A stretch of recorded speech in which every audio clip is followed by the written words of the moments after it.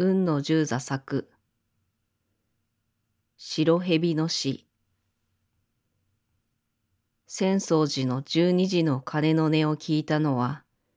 もう半時前のこと。春の夜はたけて甘く悩ましく眠っていた。ただ一つ濃い闇を四角に仕切ってポカッと起きているのは厚いレンガ塀をくり抜いた変電所の窓で、中にはガスタンクの群像のような油入り変圧器が、うーんと単調な音を立てていた。真っ白な大理石の配電盤が、パイロットランプの赤や青の光を浮かべて、冷たく一列に並んでいた片隅には、一台のテーブルがポツンと置かれて、その上に細かい数字を書き込んだ送電日記帳の大きな紙と、鉛筆が一本無造作に投げ出されていたが、しかし当直義手の姿はどこにも見えなかった。今、全く人気のないこの大きい酒蔵のような変電所の中では、ただ機械だけが悪魔の心臓のように生きているのであった。スパー、リンリンリンリン。突然しらけきった夜の静寂を破って、けたたましい音響がほとばしる。毒々しい勢力色の稲妻が天井裏にまで飛び上がった。サーキットブレーカーが働いて切断したのだった。と思いがけぬ窓の影から素早く一人の男が飛び出して、配電盤の前へ駆けつけた。彼は慣れきっている正確な手つきで、抵抗器のハンドルをくるくると回すと、ガチャリと大きな音を立てて、再びサーキットブレーカーを入れた。パイロットランプが青から赤に変色して、パタリとベルが鳴り止む。そのまま義手は配電盤の前に突っ立って、がっしりした体をまっすぐに、見えぬ何者かを追っているようであった。もう四十年配の技術には熟練しきったような男である。一分、二分。春の夜はたけて、甘く悩ましく眠っていた。トキさん、トキさん、ちょっと。不意に裏口へ続く狭いドアが少し開いて、その間から若い男の顔がひょっくりと現れた。ひどく青白い顔をして、明らかに何事か狼狽しながら、あたりをはばかっていた。おお、くるりと振り返った義手は、くにちゃんか、なんだい？と何気なく配電盤を離れた。あの、ちょっと来てくれませんか？どうもおかしいんです。およしが倒れちゃって。青年は一途に救いを求めるような混乱した表情を見せながら、干からびた言葉をぐっと飲み込んだ。およし。ええ、倒れちゃったっきり、どうしても起きないんです。困ってしまってね。時健介は、濃い眉を寄せてちらりと窓の方を眺めた。弱ったな相棒は起こせないし。え？北高なんだよ。考え物だからね。さっと青年の目は怯え上がった。まあ、このままにしておいて、ちょっと行ってみよう。どこだい?義手は思い返したように、気軽に青年の肩を押しながら裏口へ出た。乏しい見当がポツンポツンと闇に包まれている狭い路地を、忍ぶように押し黙って、二十歩ばかり行くと、時さん、ここ、と青年は立ち止まって道を指した。顔を地につけるようにしてみると、仰向きになった銀杏のようなおよしの丸い顔がすぐ目についた。首からはだけた胸のあたりまで日頃自慢にしていた白蛇のような肌が嫁にもくっきりと浮いている。のけぞっているので、曲げは頭の下に押しつぶされ、赤い手柄が耳たぶの後ろからはみ出していた。およし、およし。青年ははばかるように声を殺して呼びながら、強く女を揺すぶったが、ぐったりと身動きもしなかった。彼は前にも幾度かそうしてみたのであったが、もう一度機械的に黒ジュスの襟を引き上げ、奇跡にでもすがるように、ぐっと胸へ手を差し入れた。すぐにむっちりと弾力のある乳房が手に触れたが、その胸にはもう、彼を散々悩ましたあの焼けつくような熱はなく、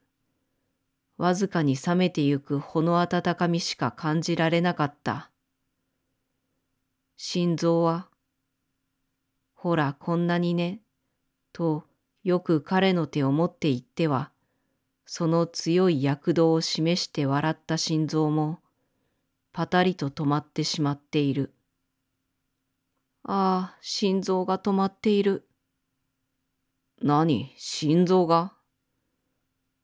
ぼんやり中腰になっておよしの白い顔を眺めていた時健介は、初めて愕然と声を上げた。そして、おずおずとおよしのこわばった腕を持ったが、もちろん脈は切れていた。くにちゃん、ちょっと胸を開けて。青年が力いっぱい襟をはだけるのを待って、時は心持ち顔をあからめながら、およしの乳房の下へぴたりと耳を押しつけてみた。少しの鼓動もない。すぐにまぶたを開いてみたが、瞳孔はもう力なく開ききっていた。死んでいる。もう全く呼吸がなくなっているんだ。大変なことになったな。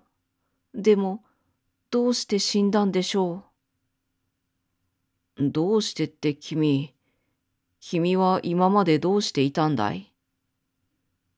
そう聞かれると、さすがに青年は、この年配の義手に対して赤い顔をした。が、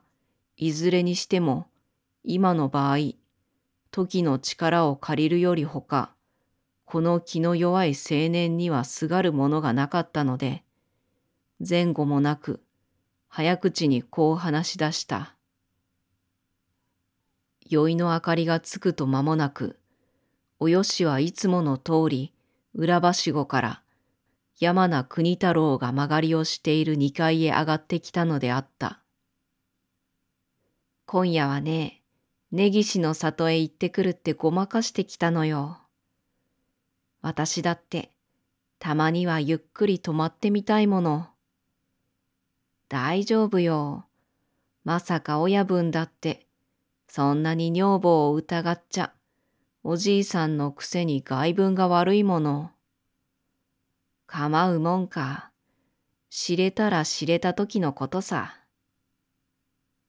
洋服気取りのおよしは、国太郎にぴったり寄り添いながら、非常に嬉しそうであった。そして散々この気の弱い青年をいじめ抜いて、少しもそばから離そうとはしなかったが、ついさっきになって、ふと気が変わってしまった。やっぱり私、帰った方がいいわ。あんた怒りゃしないわね。また来るには止まらない方が出よいもの。ね。だってもう十二時過ぎだぜ。怖かないわ。こう見えたって、白蛇のおよしさんだもの。夜道なんか平気よ。じゃあそこまで送っていこう。無論だわよ。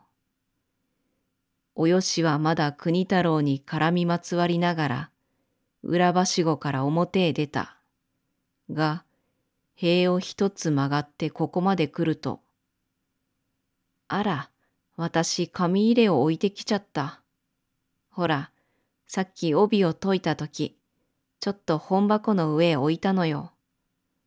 あんたが悪いんだから、急いで取ってきてよ。およしは国太郎の胸を肩でこづいて、二人の時だけに見せる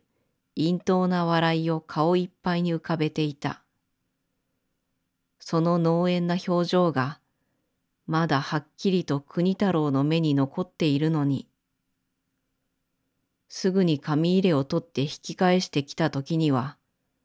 もうおよしはここに倒れていたのであった。はじめは冗談だと思ったんですよ。けれど、様子がおかしいんでしょう。だから驚いちゃって。一体君がここへ帰ってくるまで、つまりおよしさんが一人でここに残っていた時間はどのくらいだったの？三分とは経っちゃいないんです。三分？そして君が帰ってきたとき、この路地に誰も人は見えなかった？ええ、はっきり覚えてはいないけれど、確か誰も見えませんでした。が、その時何故か、変電所の四角な窓が、らんらんと輝いていたことを、青年はふと思い浮かべた。困ったね、どっちにしても。どうする君は。時の言葉に、急に自分の立場をはっきり思い起こして、国太郎はたちまちすくむように頭を抱えてしまった。僕は、僕は殺されますよ。きっと、なぶり殺しに遭わされるんだ。それは何とも言えなかった。一体およしは、今戸町に店を持っている、相当手広い牛肉店、加藤吉蔵の妾兼女房なのであった。が、悪いことにはこの吉蔵が幕都の親分で、昔痩せ馬の吉と名乗って売り出してから、今では今戸の親分で通る広い顔になっている。しかもおよしは、その吉蔵親分の恋女房であった。今から五年ばかり前、およしがまだ二十歳で、ある工場に働いていた頃、どこの工場でもそうであるが、夕方になると、ボイラーから排出される多量な温油が、庭の隅の風呂桶へ引かれて、そこで職工たちの一日の汗を流すことになっている。その鉄砲風呂の中から、およしのきめの細やかな、いつもねっとりと濡れているような色艶の美しい肌が工場中の評判になってしまった。およしさんの体はまるで白蛇のようね。その白蛇のような肌を何かのようで工場へ着合わせた吉蔵が一目見て、四十男の恋の激しさ、およしにつきまとう多くの若い男を見事撃退して、間もなく妾とも女房ともつかぬものにしてしまったのである。こうしておよしは、娘からたちまち姉子へと変わり、あられもない白蛇のおよしと自分から名乗って電報を見習うようになったが、若いに似ず、よく親分の世話をして、執念深く伺いよる男どもは、手痛い目に遭わされるという評判がもっぱらであった。しかし魔はどこに潜んでいるか計り知れぬ。それほど気の強いおよしが、この正月頃から臆病な大学生、山名国太郎にすっかり魂を打ち込んでしまったのだから。二人の甘い秘密は、幸い今日まで親分にも知れず、数々の陥落を忍ばせてきたが、ここにもやっぱり悪魔は笑っていたのだ。もしおよしの死から国太郎との秘密が知れたが最後、深い中年者の恋の遺恨で、どんな残忍な復讐が加えられることであろう。生きた心地もないこの哀れな青年を前にして、義手は全く途方に暮れたようであったが、一方空っぽにしてきた変電所のことも気になるらしく、とっさにどうにか後始末の手段を考えてくれた。ねえ君、今はどうしておよしさんが死んだのか、誰に殺されたのかなんてことは研究している場合じゃないよ。何より君自身の体を心配する必要があるんだ。いいかね？あと30分で僕の交代時間が来る。そうしたらとにかく二人でおよしさんの死体を遠くへ運んでいこう。つまり君とおよしさんとの仲を嗅ぎ出されないためにだよ。そして君は朝の一番列車で当分どこかへ姿を隠してしまうのだ。それが一番安全だからね。あと30分だ。君はこの死体を守って変電所の物置の後ろで待っていてくれたまえ。忘れても声を立てちゃダメだぜ。相棒は北高なんだからね。それは国太郎にとって非常に頼もしく思われたほど実に冷静な分別であった。ただ不安なのは義手の言う相棒の北高、すなわち変電所の義手法、田中北一で、これは吉蔵親分の一の子分である上に、密かにおよしに思いをかけているのだと、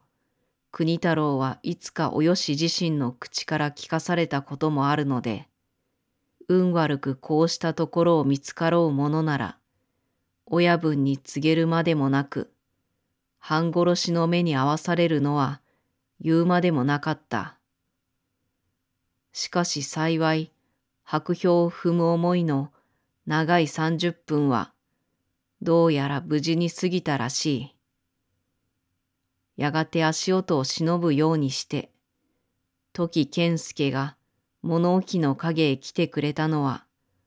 もう午前二時を少し回った頃であった。じゃあいいかい？言葉少なに義手はこう言って、無造作におよしの頭を抱き上げた。国太郎は夢中で足の方を持ったが、どっしりと重い死人の体は、思ったよりはるかに扱いがたく、ものの十件と歩かぬうちに、もう息切れがしてきた。そしてゆすり上げるたびにしどけなく裾が乱れて、およし好みの聖面がだらりと地へ垂れ下がる。そのたびに彼らは立ち止まって、そのむっちりと張り切った白い太もものあたりをかき合わせてやらねばならなかった。これじゃあやりきれない。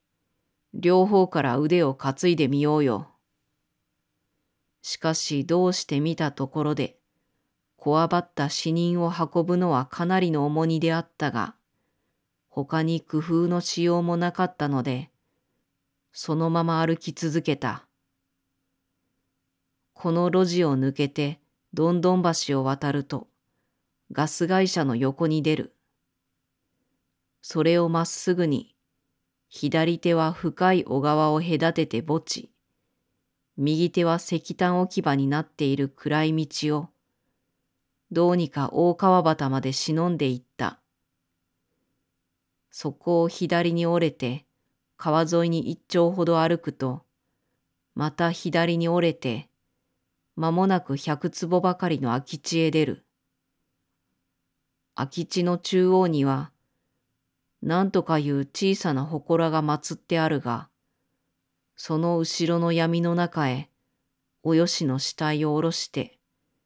二人は初めてほっとした。幸い途中で誰にも見られなかったことは、彼らにとって何よりであった。トキさん、ちょっとトキさん。大声で揺り起こされて、トキ健介が宿直室の布団の中からすっぽりとゴブ狩り頭を出したのは、もう朝もだいぶん日が高くなった頃であった。いやあ。時はそこに北高子と田中義手法が柔らかいものをだらしなく着て棒のように突っ立っているのを見出すと渋い目を無理に開けるようにして声をかけた。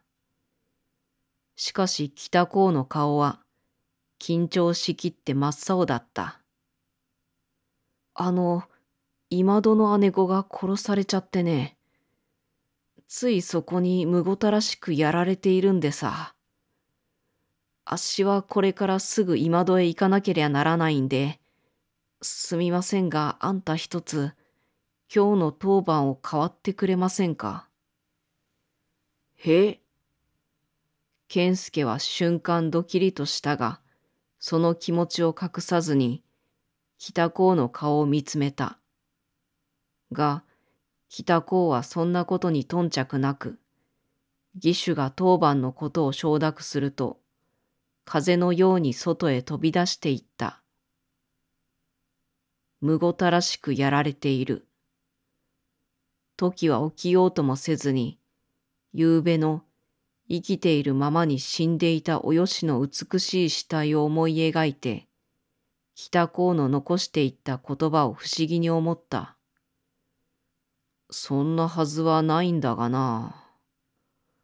あのおよしのあらわな白い胸や太ももをまざまざと描き出して、時はふっと顔をあからめた。宿直室の外は火事場のような人通りであった。まあ嫌だ。そりゃいい女だって言うけど、腕も足もないんですってさ。あら、どうしましょ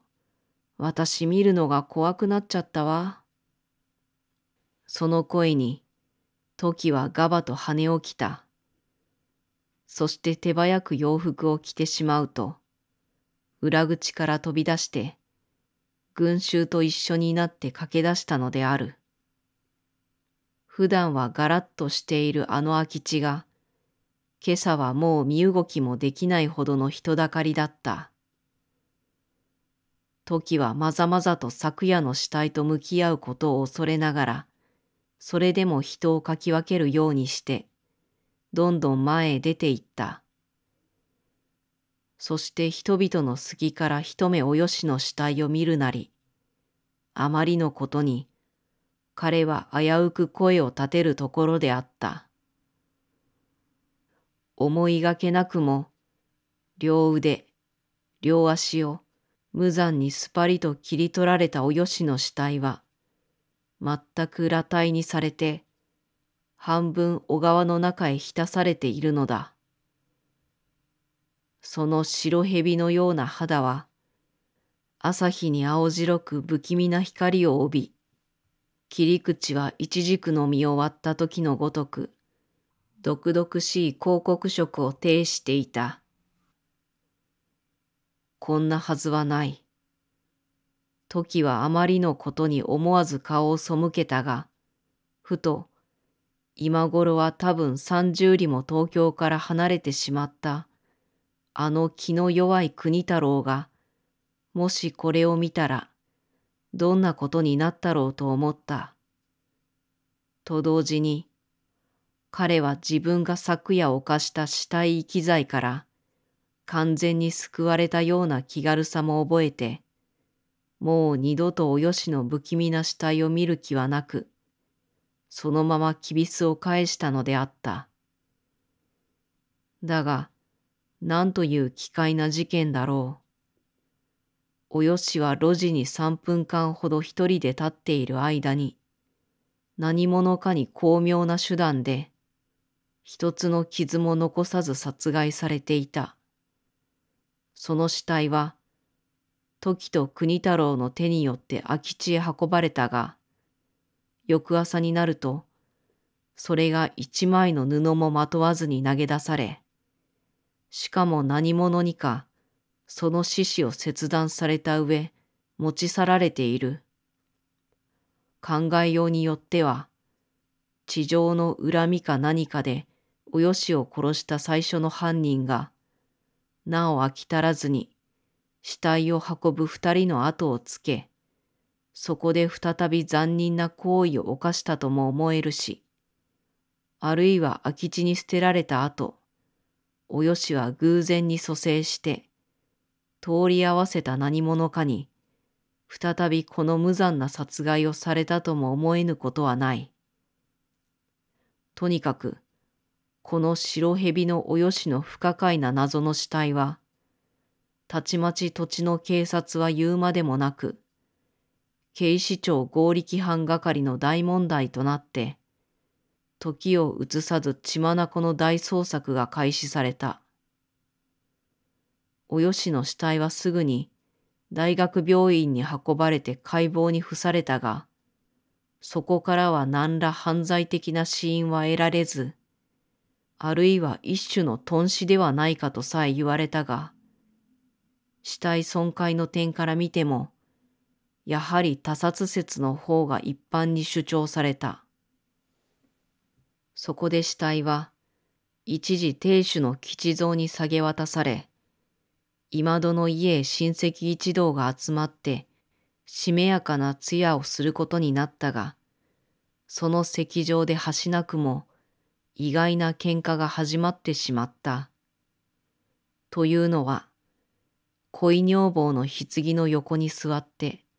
始終腕組みをしていた吉蔵親分が、つと昇降に立った北公を見て、悲痛な言葉を浴びせたに始まる。北子、よく覚えておけよ。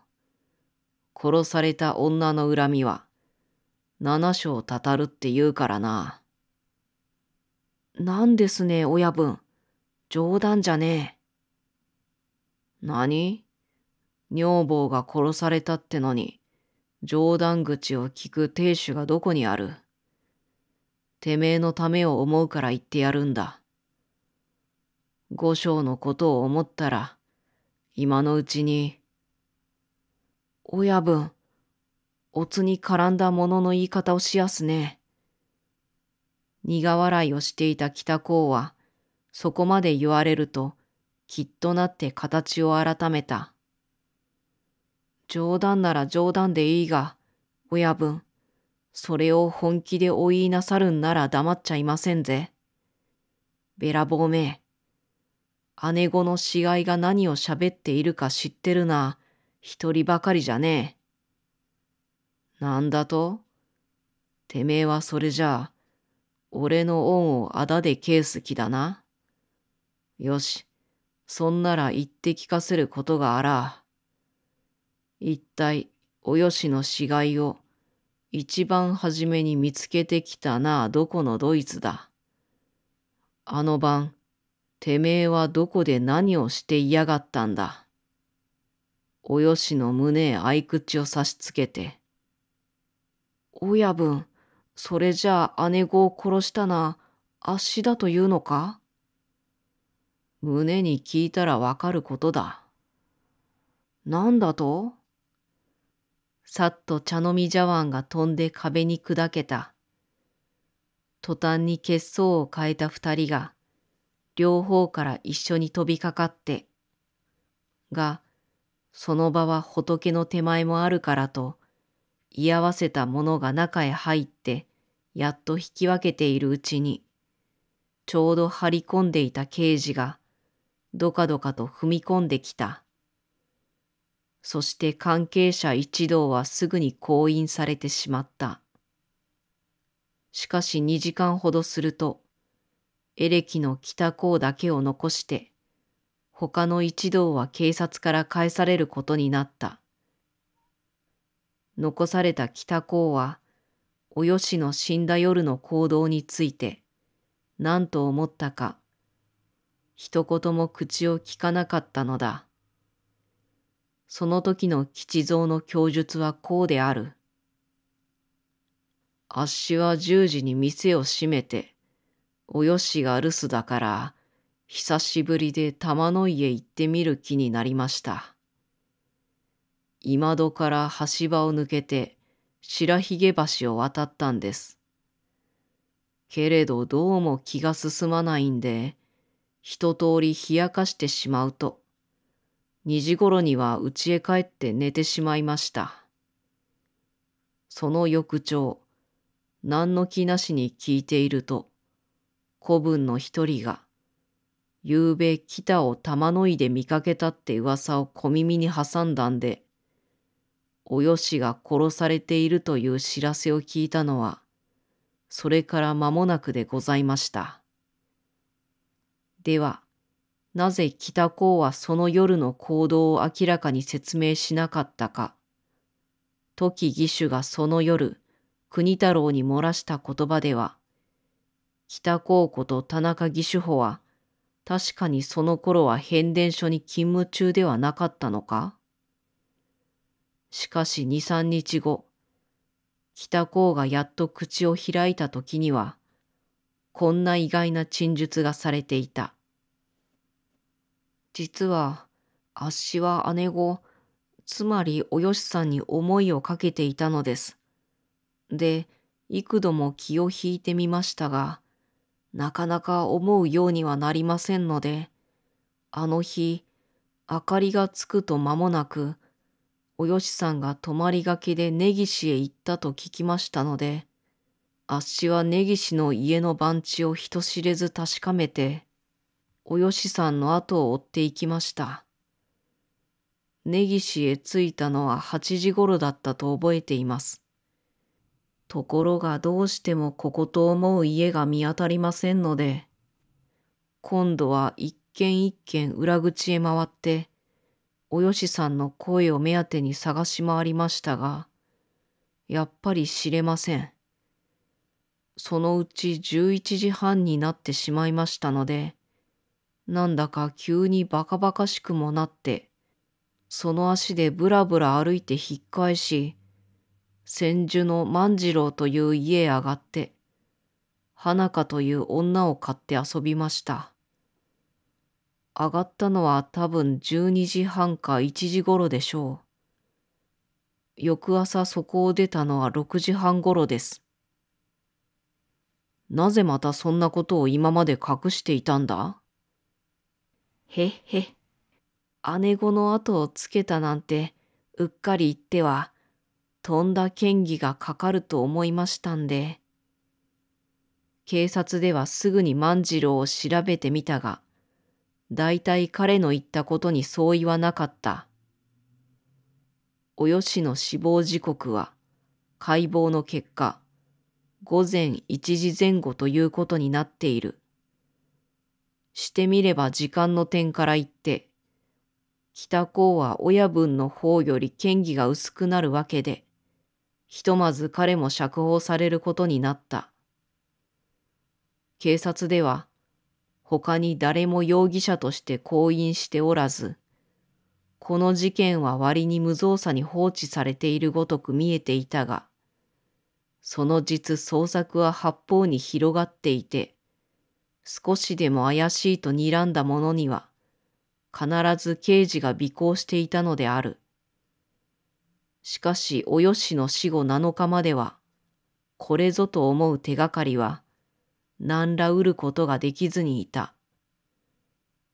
すると8日目になって、初めて新しい二つの報告が集まってきた。一つは、あの日以来、吉蔵の店では、冷蔵庫へ入れる氷を5缶目ずつ余計に使っている事実。一つは、あの日を境にして失踪した者の一覧表の中から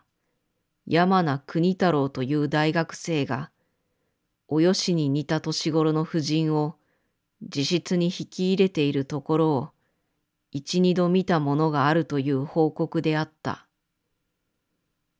およし事件のために特設された捜索本部は、この二つの報告に色めきだって、主任は直ちに吉蔵の店へ警察を向ける一方、山名国太郎の行方を八方に捜索させた。吉蔵は、警察の臨検に大小三個の冷蔵庫をすぐ開いて見せた上、氷の消費量増加については、何しろもうこんな陽気ですから、氷だってだんだん増える一方でさ。と軽く説明した。しかし主任がそのくらいの説明で満足するはずはなく、当分夜の間、刑事を吉蔵の店の床下に張り込ませて、どこまでも事件の端緒をつかむようにと手配した。一方山名国太郎の失踪については、北港を変電所へ張っていった刑事から、偶然手がかりがついた。というのは、変電所主任、時健介宛ての無名の手紙から足がつき、スタンプの消印で、栃木県今市付近に国太郎が潜伏していると分かったのである。いよいよ国太郎が逮捕されたとなると、事件はどう展開するであろう。国太郎とおよしの密会には証人があることだし、あの夜時義手が現状へ呼ばれた時には、すでにおよしは死んでいたのだから、国太郎がこの他殺に全然無関係であるということは説明できまい。同時におよしの死体遺棄が明らかになるので、時義手にも嫌疑の余地が出てくる。その夜の勤務は、時一人で、他に証人がないのだから、国太郎の言う通り、およしが路地に一人でいたとすれば、その間に健介がおよしを襲うこともできたのである。こうして殺人犯人の嫌疑者は4人となった。その翌日の夕方、山名国太郎は今市から護送されてきた。青年は数日の応能にめっきり憔悴して、極度の神経衰弱症に陥っているらしく、簡単な尋問に対しては、その答弁は案外手間が取れた。が、結局国太郎は前述の異彩を全部自白させられたのである。そして直ちに問題となったのは、時健介の行動であった。まずその死体遺棄の方法が、とっさの手段としてあまりに計画的であったこと。ことに彼は国太郎に向かって北高が相棒だからと言っているが、事実その夜、田中義手法は非番であって、変電所の日記によっても、それは明らかなことであった。ではなぜ時がこんな虚言を浪したか。その時取調室の電話が突然響き渡ったのである。捜索主任はすぐに受話器を取ったが、突然さっと顔色を変えた。そして、国太郎の尋問を一時中止すると、二三の部下は何事か囁いて、あたふたと一緒に自動車へ飛び乗った。夜はすでに参考に近かった。自動車を捨てて主任が加藤牛肉店のくぐり戸を入ると、そこに張り込んでいた刑事が待っていて、直ちに奥の吉蔵の居間へ案内した。その部屋の一方の壁に仕掛けてあったのである。壁は刑事の手によって、ドアのごとく左右に押し開けられ、たちまち間口一軒奥行き三尺ばかりの押し入れが現れた。その押し入れの中央に仏壇のように設置してある大冷蔵庫。そのドアを開けて見せられたとき、さすがの主任も、あっと顔を背けずにはいられなかった。中には若い女の太ももあたりから下の立ち姿。草ぶどうのくすんだ愛地に太い黒の格子が入ったそれは、非常に地味な着物であったが、膝頭のあたりから軽く自然に裾をさばいて、これはまた目も覚めるばかり真っ赤の聖面を文字通りけ出したあたりに、白い牢のようなふくらずねがちらりと覗いている。どう見ても若い女の腰から下の立ち姿であった。言うまでもなく、これはおよしの両足で、同時にそこから両腕も発見された。これらは時を移さず警察へ押収されたが、親分加藤吉蔵は、すでにおよし殺しの有力な嫌疑者として、主任と入れ違いに降院されていたのであった。やがて夜は明け放たれた。世間はほころび始めた花の噂に浮き立っていたが、警察署内の取り調べ室では、極度に緊張しきった吉蔵の尋問が続行されていた。しかし彼は、どこまでも犯人は自分でないと主張するのである。あっしはあの晩、玉の井へ行ったってことを申し上げましたが、実はおよしと北高のことが気になって、寺島の北高の家様子を見に行ったんです。しかし、およしは愚か、北高もうちにはいないらしいんで、それではよそで密会をして嫌がるんだと思い、白髭橋を橋場の方へ戻ってきました。その時、ふとこいつは千住の方にいるんじゃないかと思ったんで、変電所へ踏み込むつもりで、橋のたもとを右へ、墨田駅への抜け道を取りました。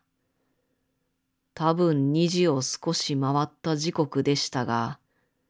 するとあそこにご存知のように、なんとかいう色ごとの祠があるんで、そいつをちょっと拝んでゆく気になったんです。そして、ついでに小便をしようと思って、祠の裏手へ回ると、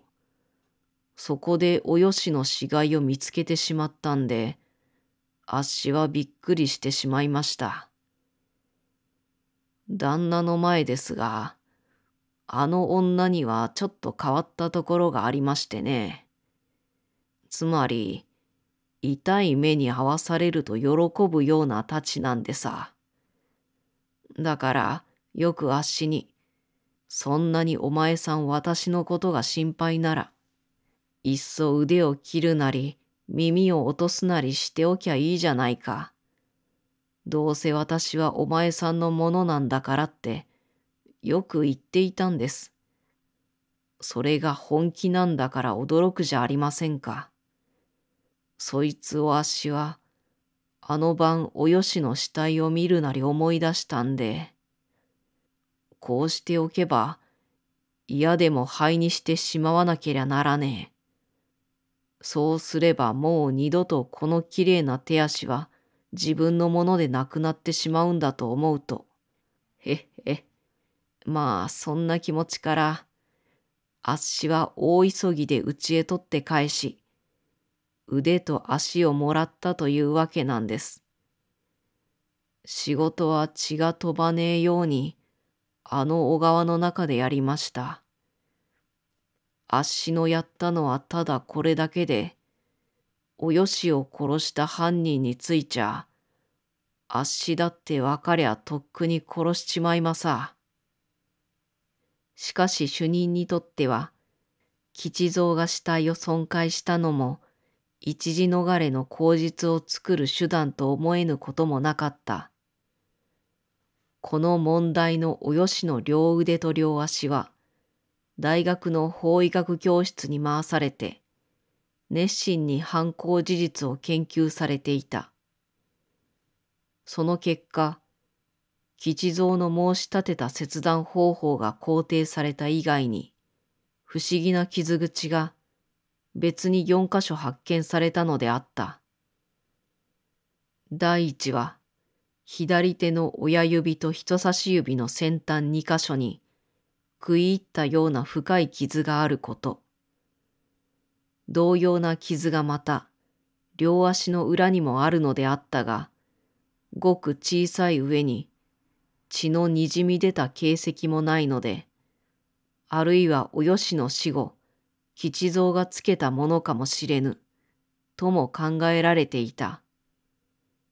ところが、ちょうどそこへ遊びに来た電気工学の W 助教授が、一目これを見るや。君、これは高圧電気に感電した時受けた傷だよ。と助言した。警察署では、主任が吉蔵の調べに手を焼いて、ひとまず尋問を打ち切り、死体遺棄の角により、変電所の時健介に婚姻状を発しようとしていた。その申請書を書き始めた時、パッと室内の電灯が消えた。そして、停電は珍しくも近来になく、一時間も続いたのである。どうしたと言うんだ？冗談じゃない。主任がついにたまりかねて、変電所へ電話で問い合わせてみようと立ち上がった瞬間、電灯はさっと明るく室内へ流れた。同時にじりじりと電話のベルが鳴ったのである。それは大学の法医学教室からおよしの死因が高圧電気の感電であったことを知らせる電話であった。主任の横顔は極度に緊張して受話器をかけると一刻の猶予もなく時義手婚姻の手続きにかかったがそれを追いかけて再び電話が鳴る。それは部下が変電所からかけた長い報告であった。要は、今しがたの停電は、二人の男が変電所の1000ボルトの電極に触れて感電死したことによるもので、二人とも全身黒焼けとなり、一見いずれが誰と識別しがたいが、一人は勤務中であった義手、時健介、一人は北高こと田中義手補であることに相違ない。この惨事の原因は目下調査中であるが、両人の体が絡み合っているところから押して、一方が感電したのを一方が救いに行って倒れたとも見え、あるいは両人の間に何か格闘があって、組み合ったまま感電したとも思われる節がある、とのことであった。とうとうやったか。残念なことをしたな。受話器を離した主任は、誰にともなくつぶやいて、崩れるように椅子に腰を下ろした。なお、その後の報告によると、応急修理に高いところへ登った一義手は、奇怪な配線のあるのを発見した。それは恋か偶然か、変電所の壁を通って向かいの家のひさしへ渡り、その端がブリキで作った問いに触れていたのである。もしこの配線に高圧電気が供給されれば、言うまでもなく、問いに触れた人間は即死しなければならない。そしておよしはちょうど、その問いのそばに倒れていたのであった。では、およし殺しの犯人は、時健介か、それとも北高か。二人の過去を洗ってみると、時の方は変電所から海兵所へとコツコツ転任されて歩いたほか、これといって変化のない単調な過去しか持っていないに反して、北高の方はいろいろな電気工生活をやってきている。その上、およしがまだ工場にいた頃、そこの試験係を務めていた事実もあって、当時仲間の一人が試験中に感電死した時、ヒューズが早く切れたために、ただ指先と足の裏に小さな傷を受けたまま、美しく死んだ事件を見たこともあるそうである。で、犯人が来たこうとすれば、親分とおよしを張り合った結果、およしが思うようにならないので、あの世、自分が非番であるにもかかわらず、忍んでいって、犯行の後、巧みに千住遊郭へ現れたとも考えられた。しかしまた、白蛇のおよしを知っている四十男は、こう言うのである。ああいう形の女は、私たち年配の男に好かれるものですよ。吉蔵親分だってそうでしょう。時さんもちょうど厄年くらいだったじゃありませんか。いくら懇意にしていても、つい目の前で楽しんでいるところを見せられちゃ、ちょっと妙ないたずらっ気も起こりますわね。それに腕のいい人でしたからね。いずれにしても、二人が死んだ後、およし殺しの事件の捜索は、即刻打ち切られてしまったので、これらはただ、苦労症の人々の臆説に過ぎないのである。